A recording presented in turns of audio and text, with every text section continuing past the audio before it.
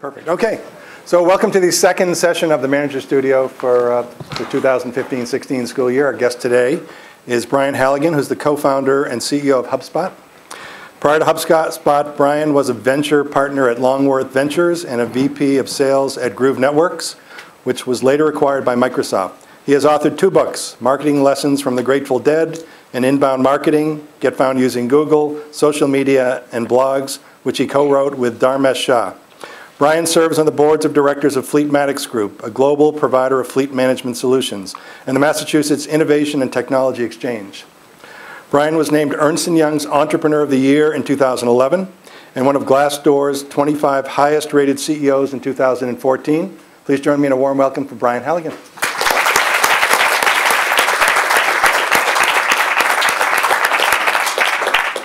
So I'd like to begin by uh, asking you to talk a little bit about your company and give, give the students some perspective on what you do.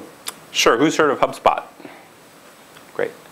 Um, the basic idea of it's quite simple. Um, I used to be, as the, as the intro said, a venture capitalist. My job was to invest in startups, small companies, and help grow. And uh, when I meet with the founders and the sales folks and the marketing folks who are trying to grow their businesses, they, uh, they all had a very similar playbook. They were going to buy a list and email people. They were going to buy a list and cold call people. They were going to do the big trade show. They're going to advertise as much as they could. They're going to hire the big PR firm in town. And, uh, and that's a playbook I had used my whole career. I sort of built my career on you know, implementing that playbook pretty well. But the, the, more and the more I looked at those plays and the more I looked at those companies, the more I came to the conclusion that those plays are broken, that people are sick and tired of being marketed to and sold to, and all of us are quite hard to reach and very clever at blocking the marketing techniques out. Uh, most people today have caller ID and you block out the unwanted calls. Most people have spam protection. Most people these days have ad blocker software. Most people have DVRs. It's just nearly impossible to reach a human these days using the traditional playbook. And so we came up with this idea of doing instead of out, we called it outbound marketing. How do you do inbound marketing? How do you turn marketing on its head and match the way you market with the way humans actually shop for stuff and buy stuff today? And we built a platform we called HubSpot. It's a software platform to enable marketers to make that shift. Uh, we started the company about nine years ago, right out of B school. I actually started sort of in B school. It was born out of business school. Um, and uh, it's gone pretty well. So far, so good. Okay, so get into the interview. Let me tell you the story of how I was oh, born, because maybe it's. Uh, are, you, are, you, all uh, MBAs? Yeah, all the MBAs. Uh, um, so I was an MBA. By the way, people are down on MBAs these these days. Have you heard about this? People are down on it. I think it's a bunch of BS. MBA, the MBA, getting an MBA was the best decision I ever made. Um, you know, the way HubSpot got born was very much through. I went to Sloan, very similar type of thing as you guys are doing right now, and it was born of the Sloan School. So it's an ideal, when you're a business school, it's an ideal place to start a company. I met my co-founder there, and I met the perfect co-founder. Like if you drew a Venn diagram of, of sort of our interests, like there's a solid overlap, but we have different skills we bring to the table and really complement each other. Business school is a great place to meet a co-founder because if nothing else, they screen for, uh, you have to be halfway intelligent to get into business school these days. Uh, and then we decided to start the company. We pivoted a few times after we started, but we started it, and uh, you know, we, we needed some uh, money. and, uh, and we raised an angel round of a million dollars in the first $100,000 one of our professors put in. So business school can be uh, useful from that perspective.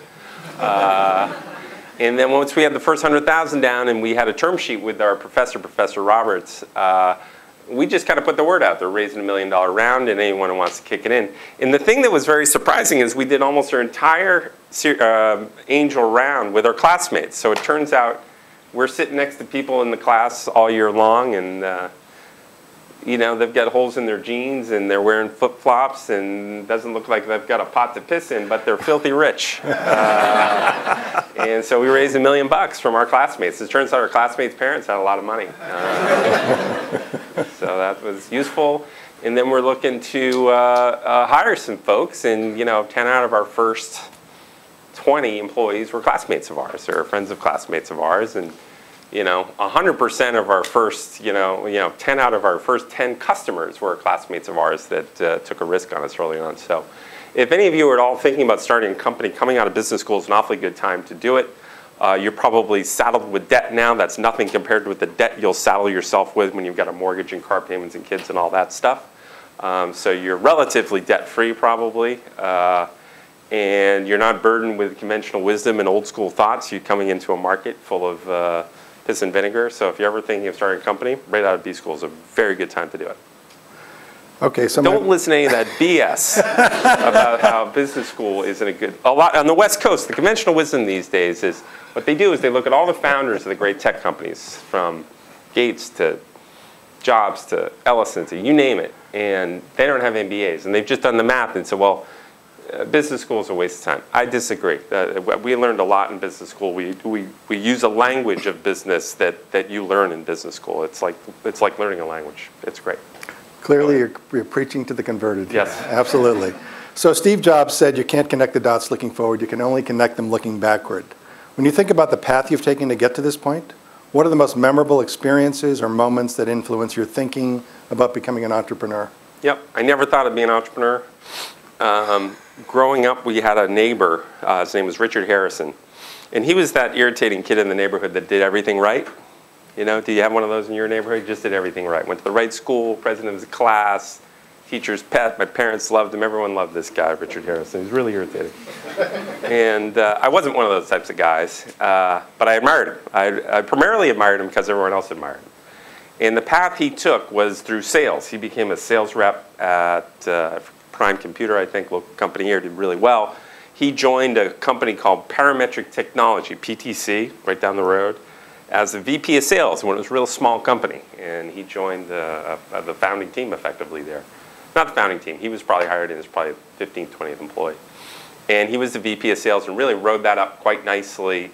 Eventually became the CEO and had a, a, nice career there. And I was watching him as I was, you know, I'm 14, 15 years behind him. I'm in school, and I said, well, that's a good path. That looks like a path that maybe I could do if I got lucky. And so he, he's been influential through my whole career just watching him. And so when I got out of school, I got a bunch of job offers. Um, and I got one that wasn't, the money wasn't very good. Uh, but I thought it was the right path. It was to, actually I was I was hired as his secretary, and so this guy's name is Dick Harrison, and I was his secretary. So I typed his memos. This is back when people had secretaries. Typed his memo, did his travel, you know, licked the envelopes, mail crap for him, and uh, you know that was my path to try to get on that path. And then I went. To, I was VP of sales at another startup, and then I went back to business school. I never thought I would start a company, and uh, when I when I got out of business school. I kind of had three choices. I could go be a VP of sales, kind of at any good, really good company. Anybody would have me as a VP of sales. Or go be a CEO at any broken down company that no one else wanted to be CEO at. You know what I mean? I was getting, I wasn't getting the good company CEO offers. I was getting the crap company CEO offers. Or I could join Dharmesh, who's my co-founder, and start this thing at HubSpot. And honestly, it was a flip of the coin. I changed my mind every couple days and Dharmesh caught me at a weak moment one day on the campus at Sloan and said, you know, don't be a wuss. Let, let's make this happen. You can do it. This is going to be great. You're going to become a CEO of a great company. You're going to make your own company. And he talked me into it. And I never thought I'd be talked into it. I never thought I'd be the idea guy. I always thought I'd be the support guy. And uh, it turned out to be a really good decision. So you built this really successful company in the inbound marketing space. Are there any notable disappointments or failures that played a role in how your career has unfolded? Yep. Uh, I would say I've made many, many, many, many, many hundreds or thousands of mistakes, and I continue to do so. Uh, the thing that I've gotten right um, is I've joined high growth companies. Uh, that company, PTC, was high growth. I joined Groove Networks. I started a high growth company. And it turns out growth hides many of the mistakes you're making and most of the sins that are occurring inside of the business. And so if you're going to do anything when you leave, you're not going to start a company, join a high growth company because you'll a rising tide tends to lift all boats. You'll get more responsibility. You'll see more of a movie.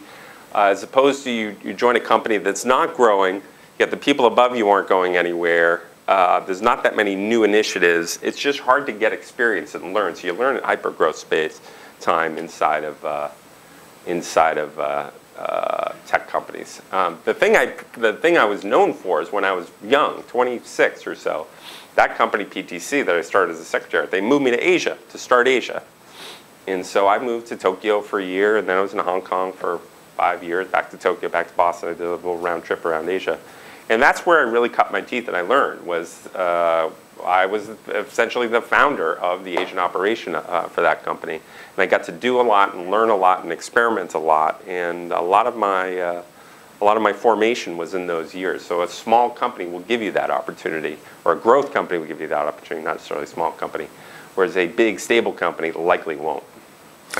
So who are the individuals who had the greatest influence on your life, um, and, and what are a few of the insights or lessons that you learned along the way from them? Yeah, Well, my mother and father for sure, uh, but on the business side, um, there are three sort of. I think of like those like bubbles over my head when I make decisions. Three bubbles. Uh, one bubble is that guy, uh, Richard Harrison, Dick Harrison, PTC, guy I looked up to, irritating guy. Uh, and if I were to describe his political leanings, um, he's righter than right. He's righter than Donald Trump. Uh, so far right. Very confident, um, very right wing, and uh, and he ran it like a right wing establishment. I don't know how to describe it in another way. He's very right wing. It's very sort of dog eat dog mentality. It was a tough place to work. Um, yeah, tough on the customers, tough on the employees. Uh, but I learned how to sell, and I learned how to scale, and I learned how to hire, and I learned how to scale. I learned a lot of stuff there.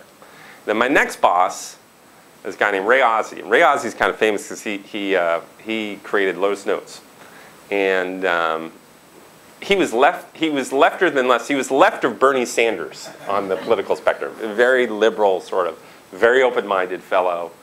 Um, didn't believe in the sales function per se. It was a necessary evil, um, and care deeply, probably too deeply about his employees. care deeply, probably too deeply about his customers um, almost to the, the detriment of the business. The business could have done much better. We, we sold to Microsoft. It could have been a much, much better outcome. Um, but I'm sort of a balance of those two, I feel like. And then Sloan is my third bubble. I learned a lot about innovation, a lot about myself, a lot about a lot about a lot of stuff, a lot about accounting and finance and all that stuff at Sloan. And uh, those those are the big three influence on on me. I tell you the thing I learned the first week at Sloan, and I don't know if any of you have had this experience, but the first week at Sloan, they broke us into little groups of 10, and they gave us hard problems to work on. And they sent us off and said, work on this for a day and come back and present your results. And it's a kind of a leadership exercise. And so I remember I kind of took the lead. For some, for some reason, I wanted to take the lead. I, I thought, well, this is my chance. I'm going to take the lead in this group of 10, and I'm going to drive us to an answer, and this is going to be great. Because, uh, you know, I'm a wonderful leader. Uh, and so I took the lead, and I remember this is a South American guy, uh, Antonio, really smart guy. Uh, and, he, and I remember this first project was a tricky project. He, he had a different opinion, a different way to go, and I, and I my, opinion, my opinion I, I convinced the crew that my opinion was right. Um, and we got in the class, and, and I get up to argue, argue my case and made the thing, and it turns out I was dead wrong absolutely dead wrong on my opinion, and this guy was dead right. Uh, it was like the first thing I did in Sloan, and it's like, well, I don't know what I don't know, and I'm definitely not the smartest guy in the room. That has been helpful. Uh, it was humbling, like, bam, right out of the gate, humbling, and that's been helpful for the rest of my career. I forgot what the question was. Well, so the question is about the individuals who had the greatest influence. Yeah, so you had your three bubbles. You answered perfectly. So um, you might have sort of answered it, but if, I don't know if there are mentors along the way who helped you as well, because uh, they can be a little more nuanced, a little more granular than these big bubbles that you have. And uh, are there any mentors along the way, and, and how did they help you? I've never had a mentor. Um, I've never had anyone who say, I'm going to mentor you. Uh, I hear this from people at HubSpot all the time. They want a mentor, looking for mentorship. I never really had a formal one. I just tried to copy the people that I respected. So Dick Harrison, and some of the other people at PTC were just wonderful. Some of the people at Groove, wonderful. And I just try to copy them throughout my career. So I've never really had a formal mentor. We do formal mentorship programs at HubSpot. People think they're great. I think it's a bunch of hogwash. Uh, but uh, anyway, I never really had a formal mentor to answer your question. Okay, fair enough. I'm trying to develop a mentor. Do you guys know this guy, Jack Connors? Yes. He's a famous BC grad. I want him to be my mentor desperately. And so I don't know if I'm going to pull it off, but he, he, he is my definition. He started a company called Hill Holliday, and you're having the Hill Holliday. We are having a CEO. And he's got a similar background to mine, sales guy. Uh, he's a big BC grad, big BC boosters on, boosters on board trustees. He lived a, a life worth living. Uh, and now he's probably in his 70s, and he is he's filthy rich, and he's full-time busy just trying to give as much money away as efficiently to the best causes he can find. He is just a wonderful man. So when I grow up, I want to be like Jack Connors.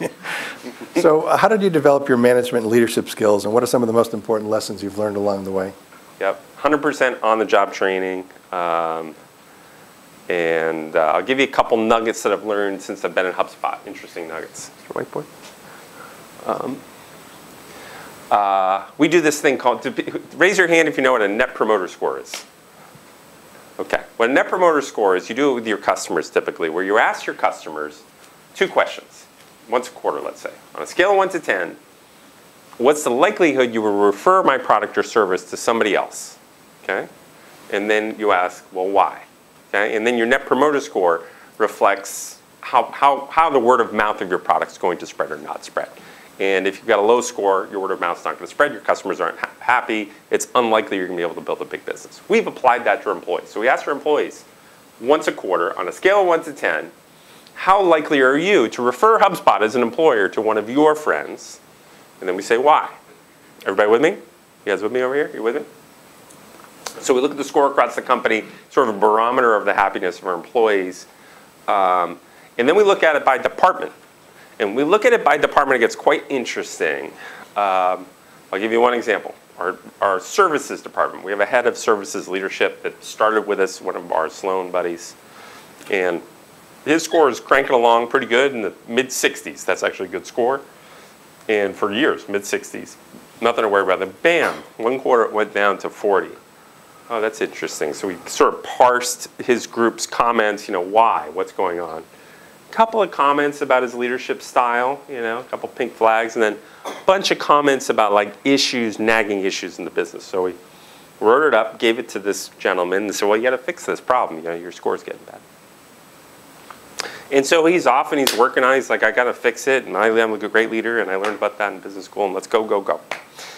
And a quarter later, we, we looked at the score, and sure enough, it, you know, started in the mid 60s, 40, boom, down to 18. And so it's dropping. And so we did the same thing, took the feedback, maybe they didn't get it, he needs another chance, did the thing, and then working on the whole thing, and then a quarter later, you know, went from 60, and then the 40, and the 18, what do you think it did? Negative. It actually can go negative. So that, that, that was it for Jonah. We loved the guy, but it was time for him to go. And uh, then we replaced him with a guy named uh, Frank. And what do you think the score did that, the following quarter? What do you think? What do you think it did? 60. It's right, right exactly back to where it was in the mid 60s. Um, we've done that four times with four different leaders. And the, the leaders we started out with from Sloan, basically, who have grown, and then there's something about them it breaks. It, it, you know, they're early stage chart people, and there's something about them that breaks. And, and uh, that's my first aha, is leaders break at some point. And the leaders are, are fits for certain size organizations. My second aha is, once you start to lose the confidence of your team, can't get them back. It's nearly impossible to win it back. So we've had the same slope curve for all four of them. My third aha is if you replace them with a capable leader, you can get the mojo back immediately. It doesn't take you years and years and years to claw back the confidence of that team. That's one kind of aha I have about management and leadership that's based in data that I think is quite interesting. Um, another aha I kind of have, have had about uh, management is I've got this sort of Maslow's hierarchy of needs in my mind where the base of the hierarchy pyramid is solve for enterprise value, EV, solve for the company, you know, solve for the stock price effectively. The next level up is solve for your team. And the next level up is solve for yourself. I found that the root of almost all, I won't call it evil, the root of all sort of poor management inside of HubSpot is when that, that pyramid gets flipped. And typically isn't flipped on its head where self is on the bottom. It's people, immature managers solve for their team. They're managed by their team. They don't manage their team. And then it's themselves, and then it's the company. When they get that backwards, the incentives of that team, the motivations of that team, get really disconnected from where the company's going. Bad decisions happen, money gets wasted, customers get upset, all kinds of bad things will happen. So my other aha is I'm constantly vigilant on anyone solving for their team, anyone solving for themselves over the company. Whenever that happens, bad stuff happens. I had a third one, but I forgot what it was. Eh, if it comes back, we'll come back to it. So you've been leading HubSpot for over nine years and been at the helm for its meteoric rise. What have you learned about what it takes to build and run a successful organization from the ground up, since you've scaled it from nothing to over a 1,000 people now? Yeah. You have a pen? I do. Have you guys taken the innovation class yet in, at BC? Okay, you'll get to this. Sorry, screw.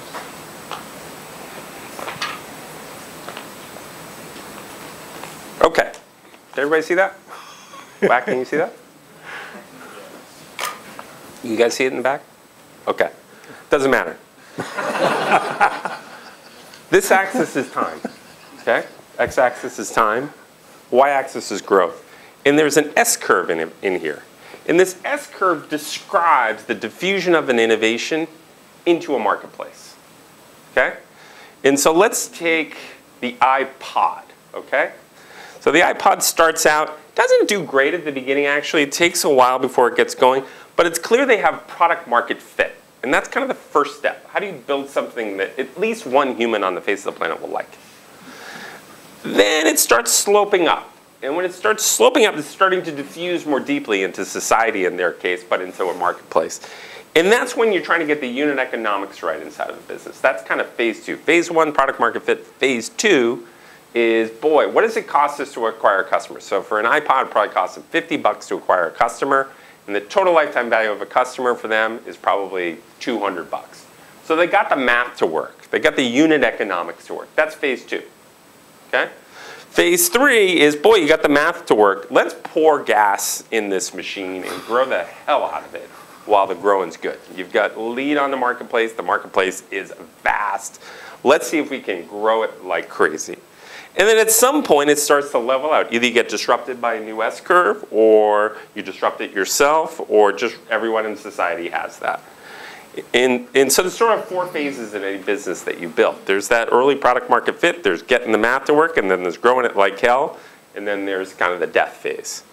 And we've seen at HubSpot, I guess my, my answer is that there's different skills needed in, at different points, and you have to have the right people at the right time, and certain people run out of gas at different times. Right now, we're right here. You know, we're growing like crazy. We're pouring gas in it. You know, we're hiring, probably hire 50 people a month. We're just growing, growing. How do we grow as fast as we can without breaking the engine uh, effectively? But three, four years ago, we were, we were cautious. We weren't hitting the, the gas very hard because we were afraid, you know, just run the thing right off a cliff. We didn't have the, the unit economics worked out in the business yet. At some point, I don't know when it will be, down the road, you know, we'll start to flatten out. And at that point, hopefully we have our next S-curve working or we disrupt ourselves and have our S-curve here.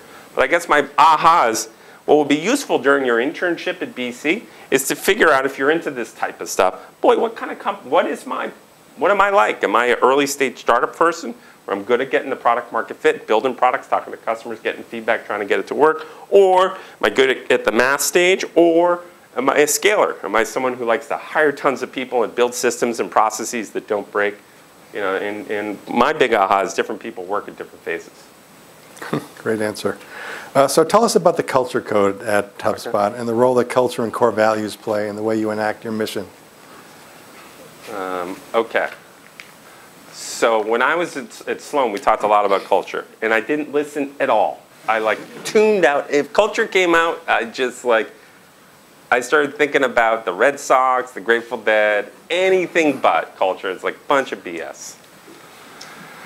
And we started HubSpot, we didn't, the word culture did not pass the lips of the founders in the first two and a half years of. We did not mention the word.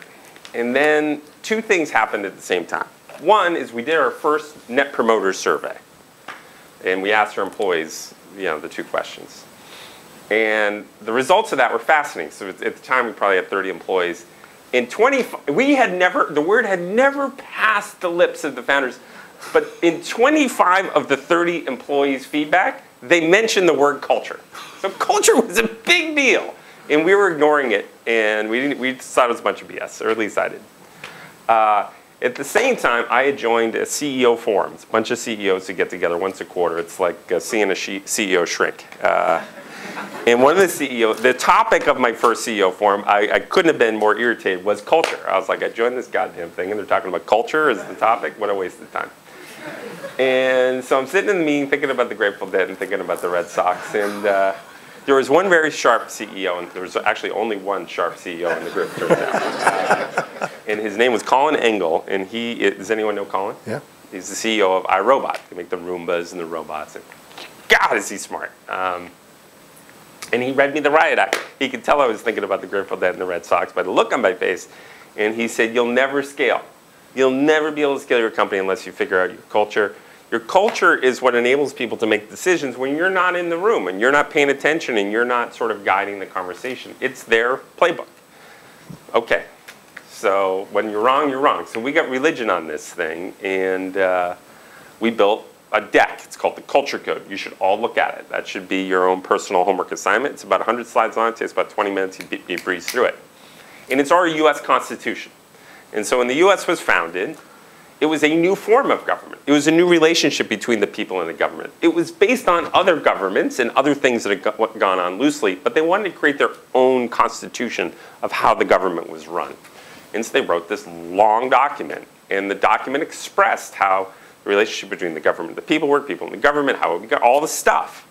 And they made it in such a way that it could be amended. Tricky to amend, quite tricky in fact, but amendable.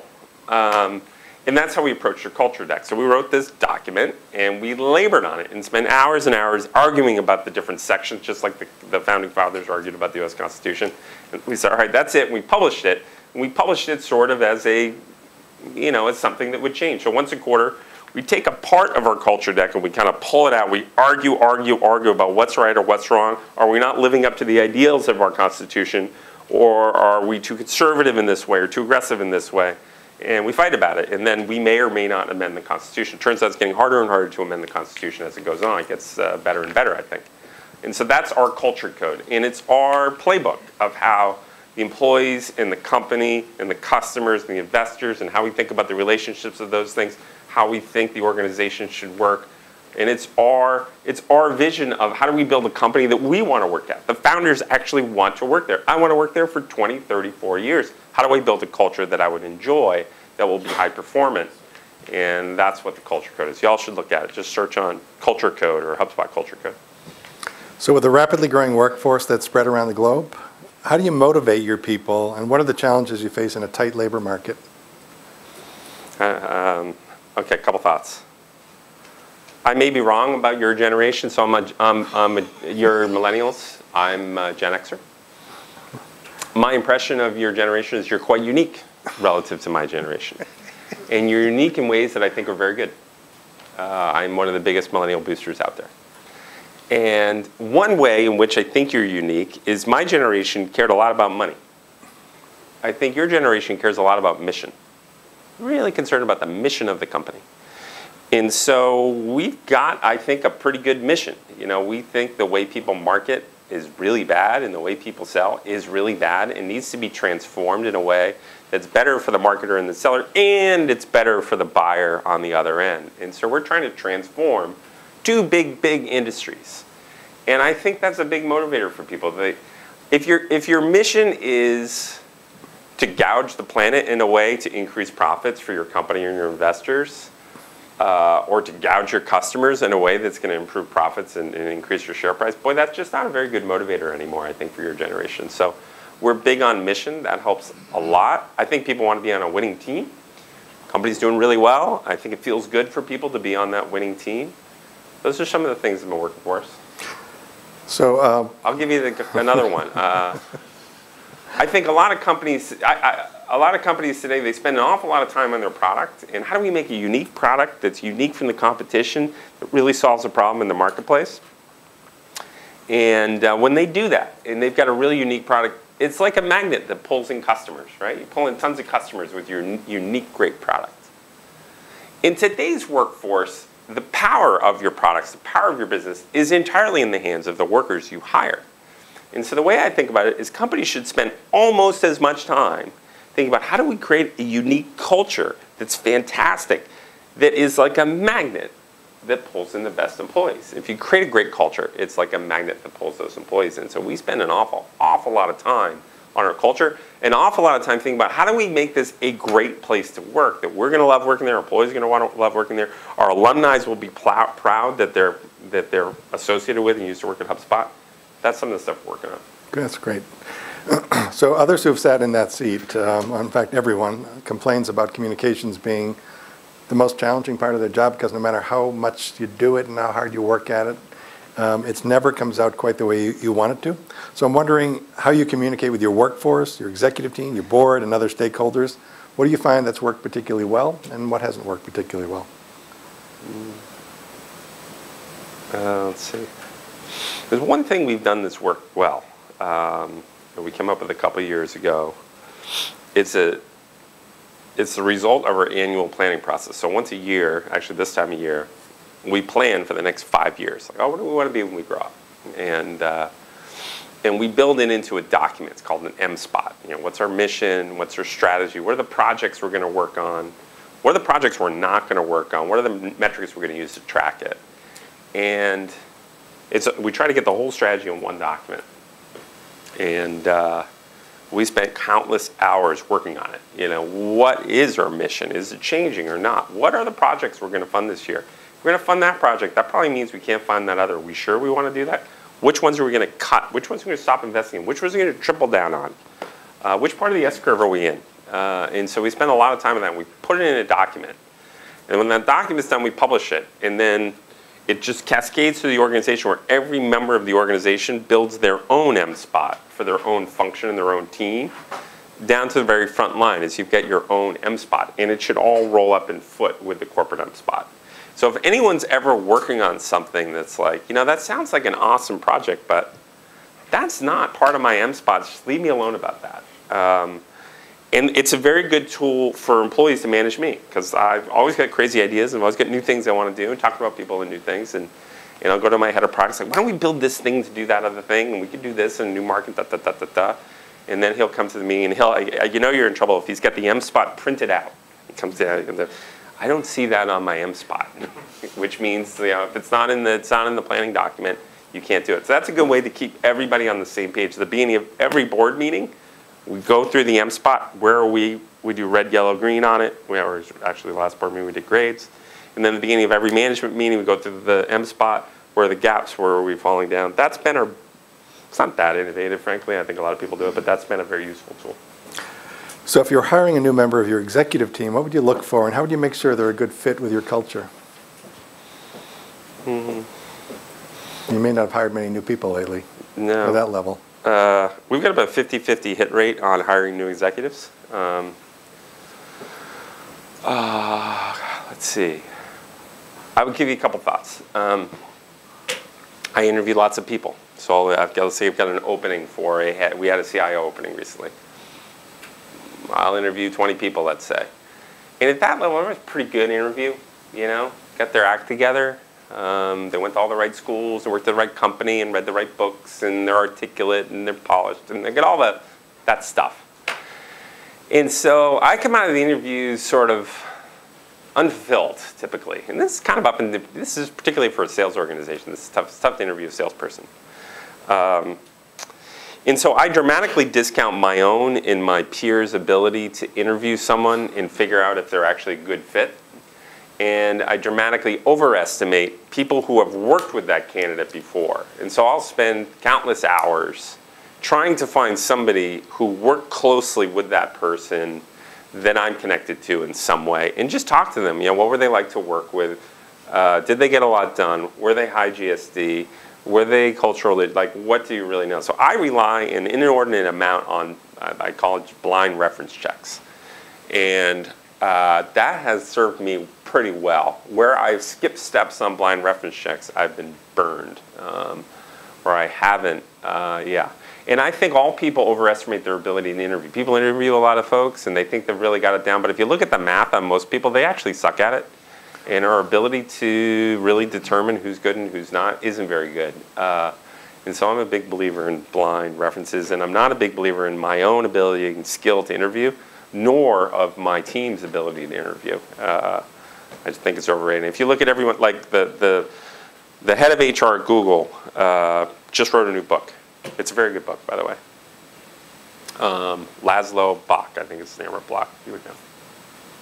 I I Anyway. don't know. Anyway, head of HR at Google. So that's a book you want to read. Google's really thoughtful about this stuff. And Google's big thing for years was just on brains. That's all they cared about. If you're smart, if you ace your SAT, they actually ask your SAT score. If you ace your GMAT, if you're aced whatever test, uh, that's it. Uh, They didn't care about anything else. And what I thought was interesting about the book is they said, well, that proved to be wrong, that that didn't work, that that, that algorithm was broken.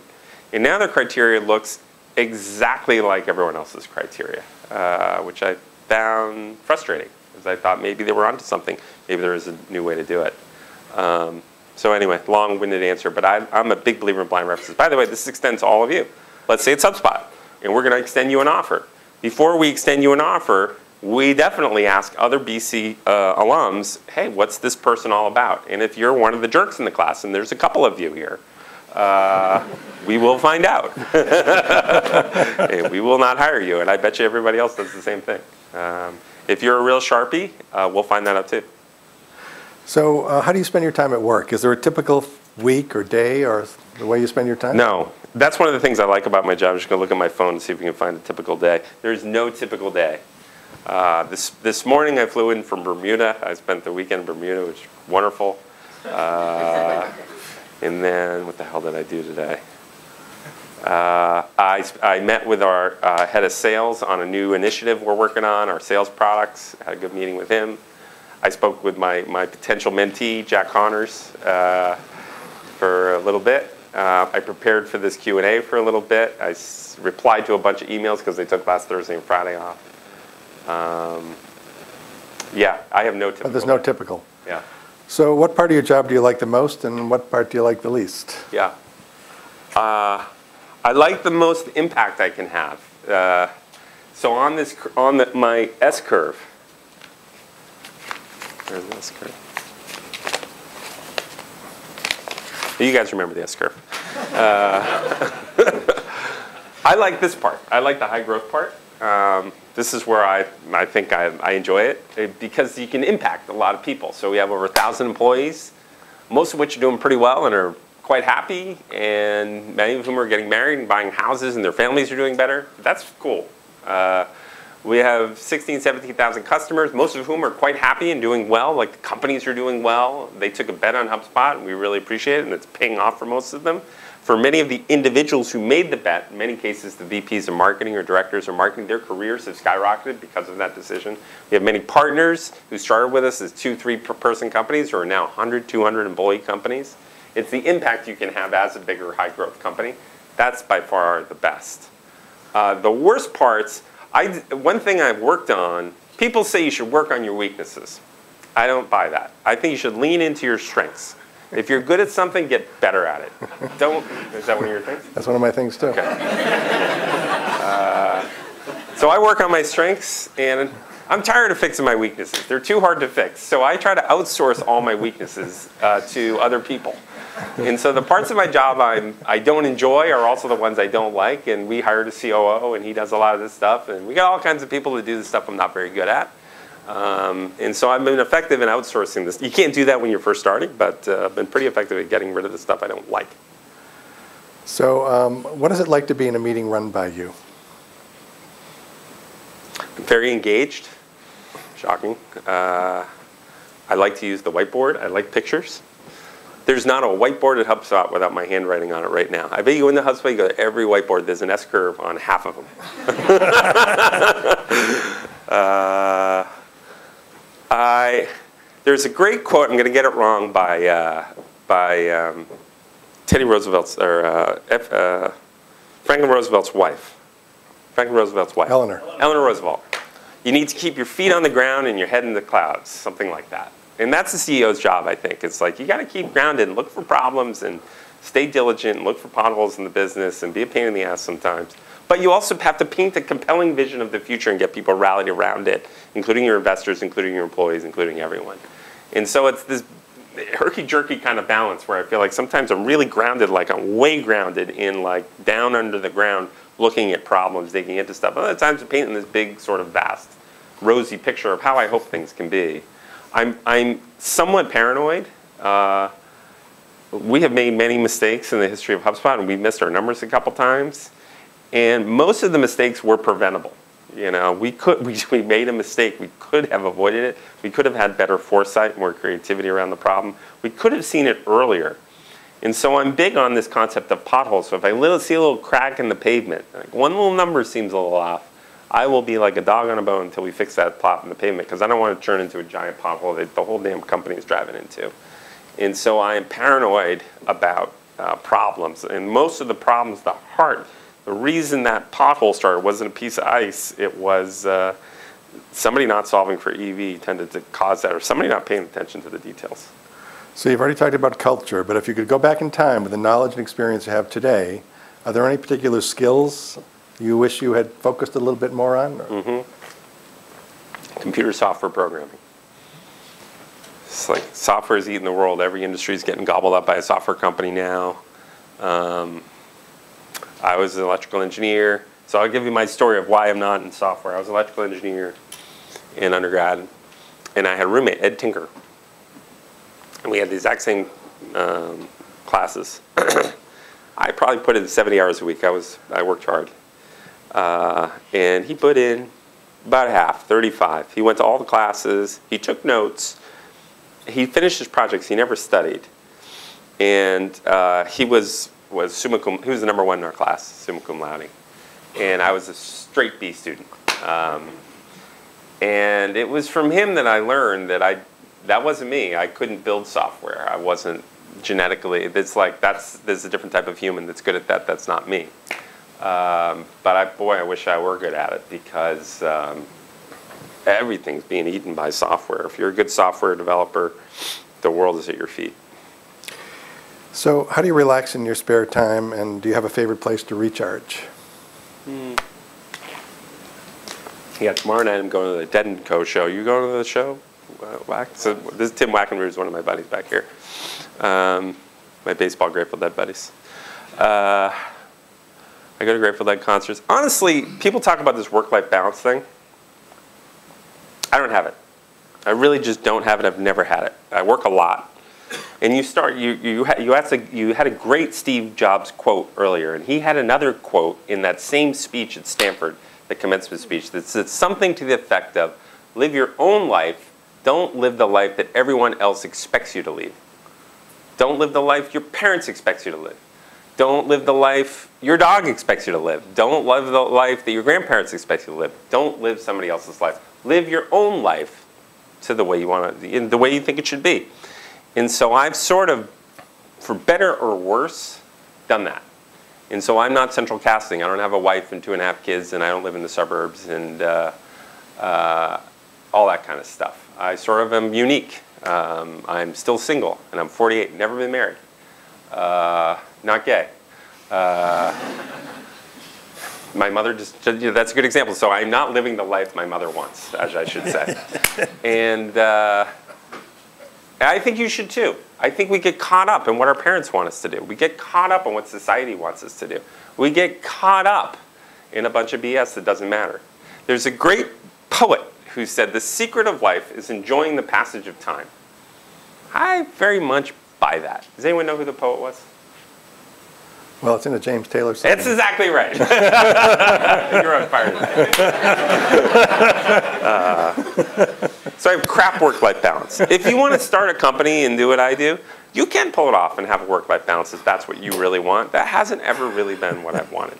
I want that for my employees only because I think they want that for themselves genuinely, because they're constantly talking about it. So we're working hard to create work-life balance for them, uh, but I personally don't have it. Okay. If you could live your career over again, would you do anything differently? Yes, general manager of the Boston Red Sox. Really? Definitely. I would have done it. It's like a quant revolution that happened, and I was there at the right time, and that would have been great. Okay.